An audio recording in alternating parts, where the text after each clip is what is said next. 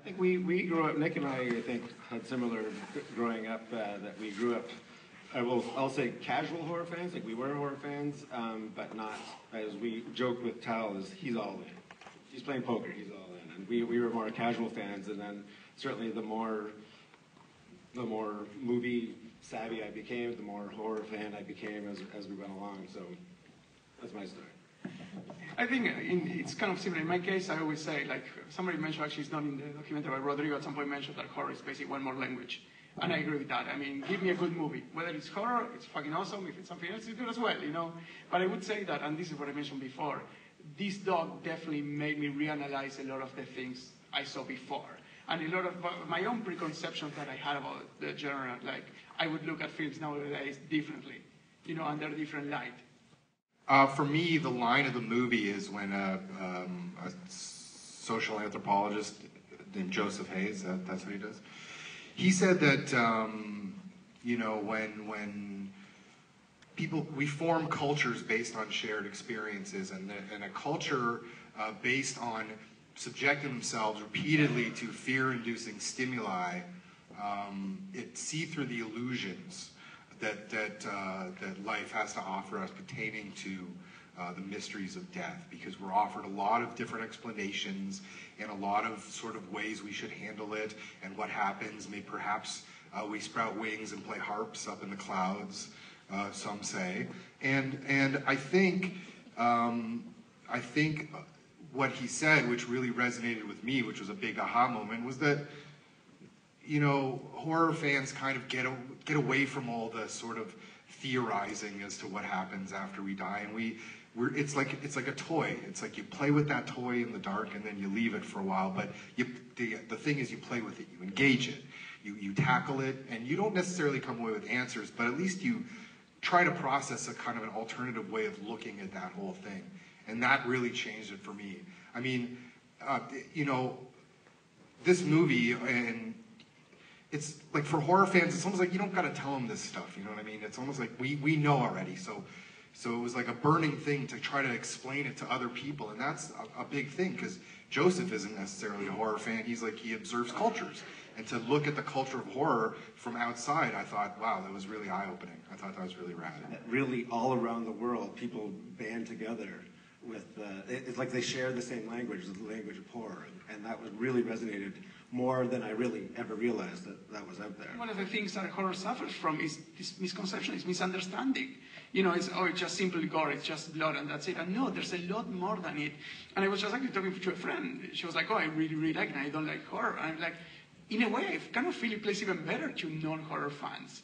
Because horror fans, as you said, they know this. They experience it day to day. And non-horror fans, I think they're going to come out of this theater, and hopefully other theaters, looking you know, at this and saying, you know what? You know, that crazy dude that you know I knew before or whatever, he's not crazy. Like, he actually has his feet on the ground, and, you know, he knows what he's doing. I don't know if it was surprising, but wherever you go, I will say that The Exorcist is the most important horror film ever made because wherever you go, it's always the same reaction. Like, that movie changed, like that movie changed the way I think about everything. Like that's what you hear from people. Like where, what, no matter what country you go to, no matter what age group of horror fan, it's always The Exorcist messed everybody up. And actually, my mom, you know, she went to go see The Exorcist in the theater and left uh, as soon as the, the, you know, the Regan voice started.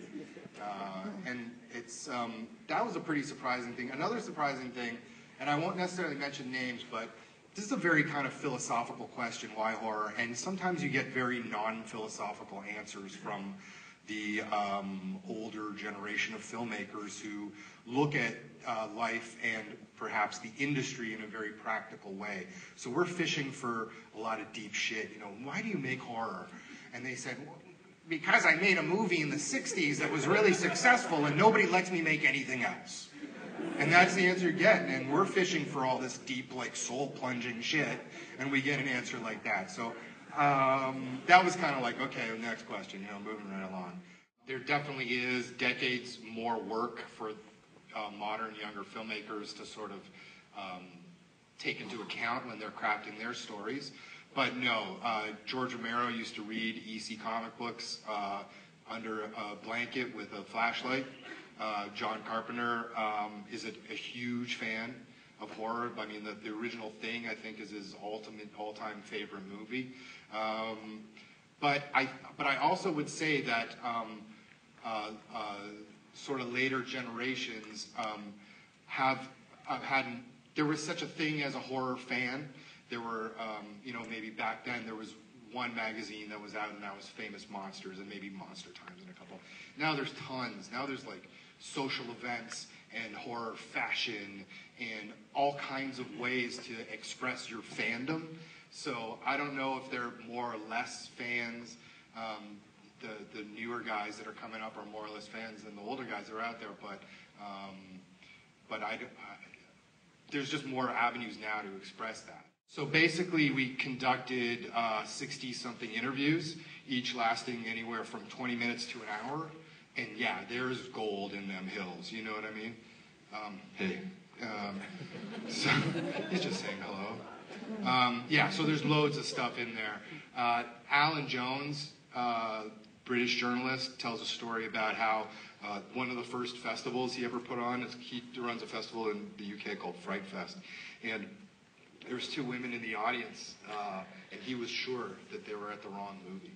And he went, excuse me, ladies, um, this is a horror film. I believe you want uh, the cinema two doors down. And they were, they said, fuck off. We love Texas Chainsaw Massacre, sonny boy.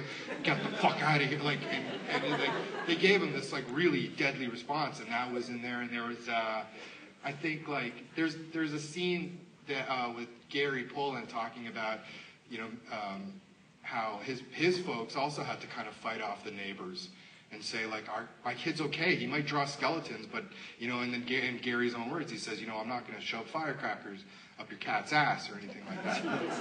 and any kind of thing like that, I always like to have in a movie. But I this whole idea of throwing Tyler off an airplane uh, because I know he's kind of afraid of that. I kind of die really quickly, sadly. I'm afraid of heights. Like that's not you don't do that to a guy that's afraid of heights. No, that's not the reason. That's the reason you don't do it. Okay. I'm already getting like I'm getting freaked out just talking about it. Don't even. There's a few. There's a whole reel of people talking about what it was like when they were kids and stuff. Like there's a ton, man. Like the Blu-ray is going to be amazing.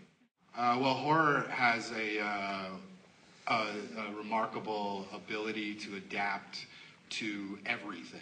So every technological change that comes along in on Earth, there's usually a wave of horror that kind of follows that. So, um, uh, do you know what creepy pasta is? That stuff is super big with like young kids. It's basically uh, like 17 year olds trading urban myths about weird stuff they see in the woods. And that stuff is enormous. I mean, so it's almost like I almost feel like it's going back to like the oral tradition of like suggestion and uh, almost this Lovecraftian "did I see it or didn't I, did I not see it" kind of vibe. Um, also, like you know, cell cell phone games and stuff like that. For example, the Why Horror game, which you can get on Android or uh, iPhone. Um, but it'll that'll depend, in my opinion, on the changes in culture and changes in society. So uh, where it'll go next, I don't know. Probably remakes will probably catch on real big.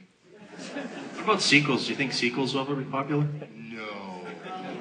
Cool. That'll never happen. 19 Freddy movies later. we uh, had a Kickstarter campaign, and uh, for all of you that contributed, thank you very much. Um, and uh, one of uh, one of the names that came through was E. Wood, and we were like, oh, wouldn't that be funny if it was Elijah? And sure enough, it was. So uh, he actually tweeted out that he had supported us, and uh, so then we decided uh, to do an animation section of. We knew we couldn't cover all the movies, the horror movies, uh, and also we knew that that has already been done in all these type of documentaries before. So we decided what's the best way that we could uh, do it. So Tal came up with a way too brief history of uh, horror. And then so we thought, wouldn't it be great to take a break from Tal telling it and have someone else tell it? So we started rhyming off names of uh, Christopher Walken and like all these different people that wouldn't it be great if we could get them to do it? And then Nick and I kind of looked at each other like, okay, no, seriously, who should we get? And they're like, didn't Elijah Wood contribute to our Kickstarter? So we literally just called him and said, what do you think? And he totally did. And I kept waiting for an agent to call me, and he never did. And So it was great. Yeah, so he totally came on board. It was terrific.